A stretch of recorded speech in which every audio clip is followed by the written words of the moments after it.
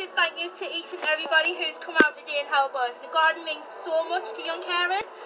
Paris, we've figured out our name. It's the garden.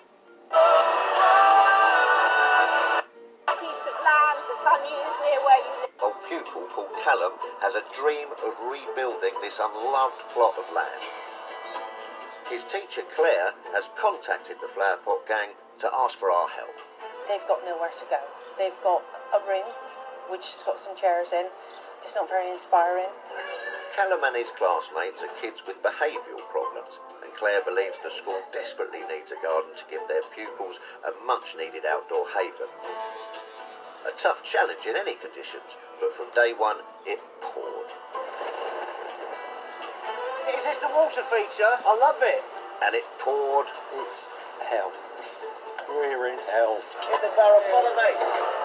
The rain finally gave us a break, Come on! but the Bristol garden still isn't finished, and that's where you come in. We'd like you to come along this Friday and help us finish the project.